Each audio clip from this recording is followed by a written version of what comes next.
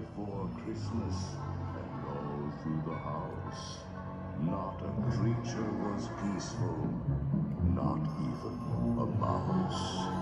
The stockings, all hung by the chimney with care, when opened that morning, would cause such a scare.